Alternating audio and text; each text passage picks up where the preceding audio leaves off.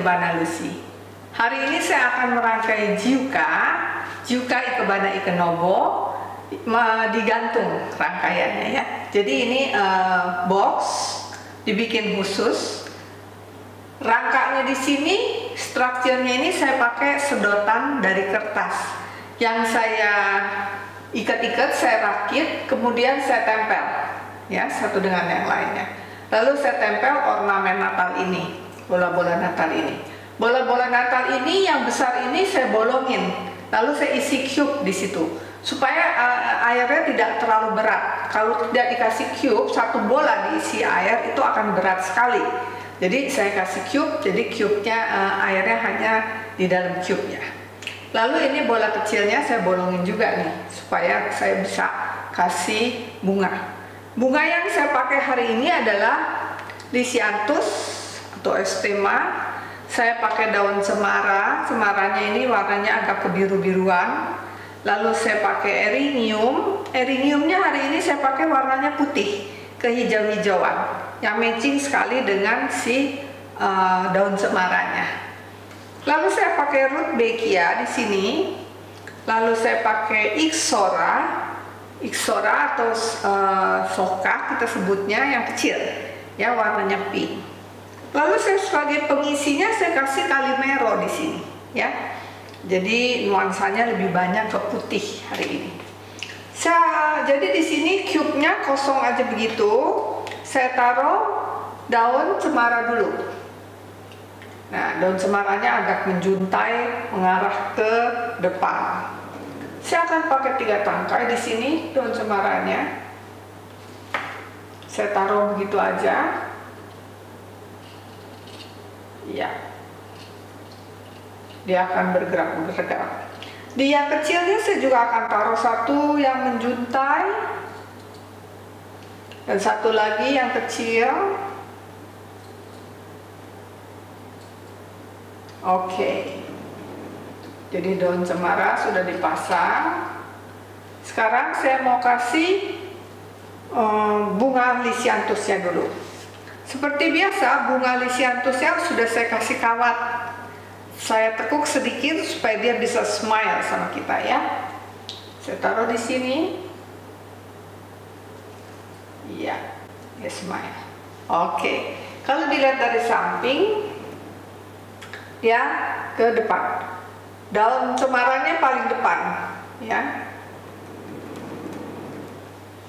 Lalu yang lebih pendek, seperti biasa, dia smile juga dengan kita. Taruhnya juga harus hati-hati sekali. Ya. Di bagian yang kecil, saya akan taruh juga lisiantus yang agak kenop. Sama saya sudah kasih kawat juga. Kita taruh di sini.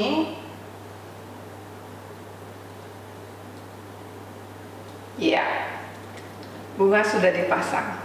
Kalau kita lihat dari samping seperti ini, ya dia menjorok ke depan, sehingga rangkaiannya kalau dilihat dengan mata itu dia kelihatan hidup. Lalu saya akan pasang eriniumnya. Eriniumnya dipasang di sini.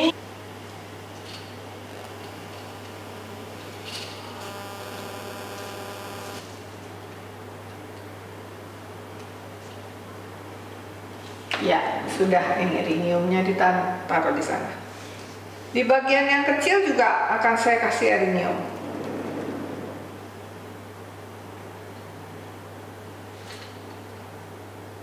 Oke. Ya. Lalu saya akan kasih sekarang iksorannya. Langsung warnanya dia akan timbul. Jadi dia walaupun kecil sedikit tapi dia memberi kesannya menarik nanti.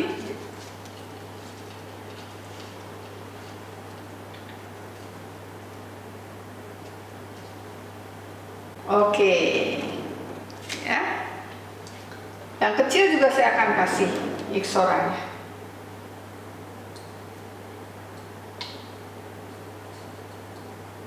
Yes. Sudah iksorannya. Saya akan tambah root bekia untuk memberi sedikit warna. ya rudbeckianya hanya di belakang saja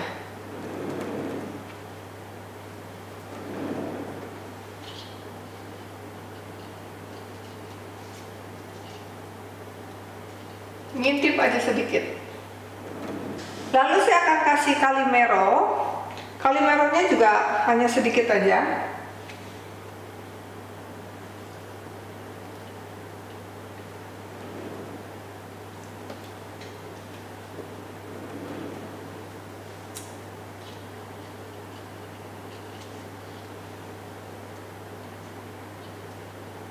Di bagian yang kecil juga saya akan kasih kamera, kalimeronya. Bunga tidak bisa terlalu banyak. Oke. Okay.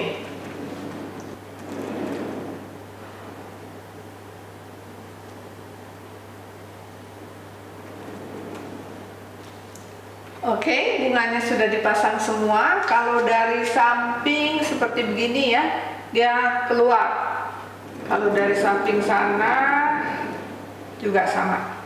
Dia keluar begitu ya. Hmm. untuk merangkai-rangkaian kreativitas seperti ini yang digantung ini itu kelas sudah harus advance. Karena kita harus sabar sekali mencari keseimbangannya ya. Mencari keseimbangannya dia karena digantung dia akan bergoyang-goyang ya jadi sudah selesai rangkaian saya hari ini Jiuka Ikebana Ikenobo dengan tema Natal. Jadi jika teman-teman suka dengan channel saya, jangan lupa untuk di share, di like, dan di subscribe. Terima kasih.